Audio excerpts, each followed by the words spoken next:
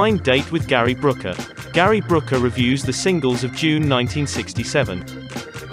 Soon after dark, Emily The. Pink Floyd. I can tell by the horrible organ sound. It's much better than Arnold Layne.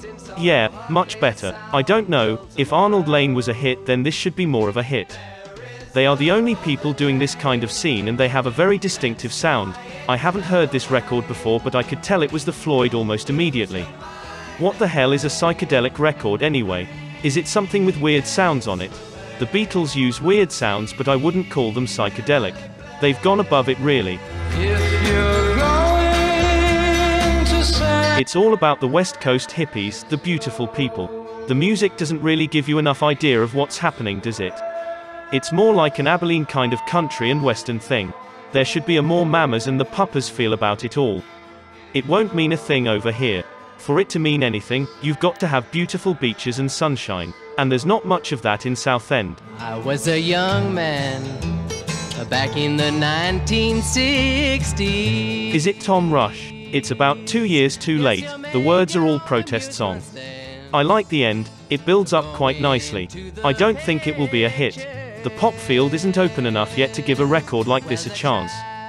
What I mean is they won't get any more plays than something like a Joan Baez record.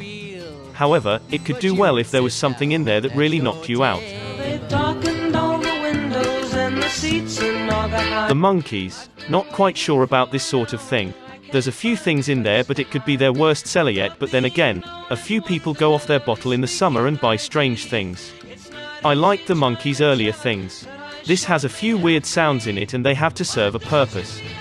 Whenever you hear weird sounds in the Beatles records, they are there for a specific purpose. But I don't know about the Monkees.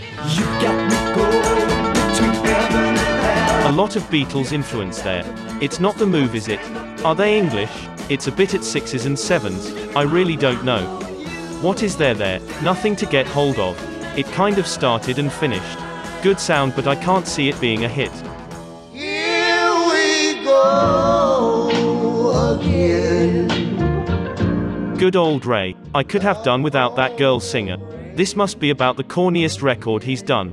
Funny, isn't it? He's done about some of the greatest records and some of the corniest. This one doesn't even have the occasional nice thing in it. There wasn't even any nice piano. The organ sound is nice though.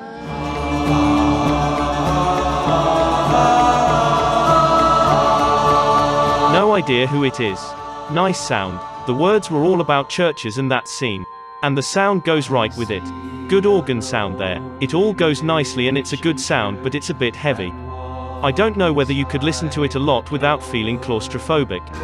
Let's we're still. Nice singer. Is it an English record?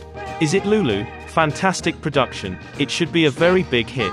Fantastic production, ending and backing, and she always sings well. Lulu's done much better since she went with Mickie Most. He's great for getting material. Manfred Mann's good at it too. So take a good look at my face. Jackie Edwards. This isn't Tracks of My Tears, is it? I really like The Miracles. They originally recorded this number. I guess that if this was going to make it, it would have done it with the Miracles version.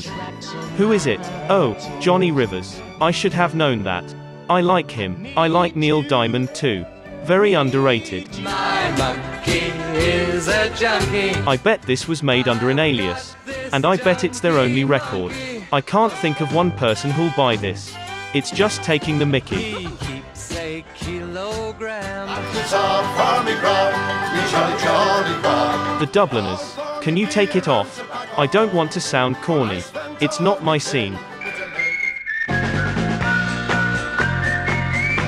Whistling Jack.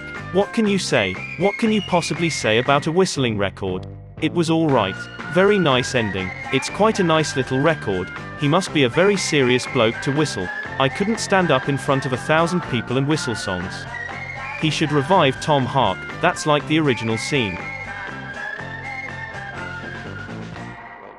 Mary. Now don't be shy.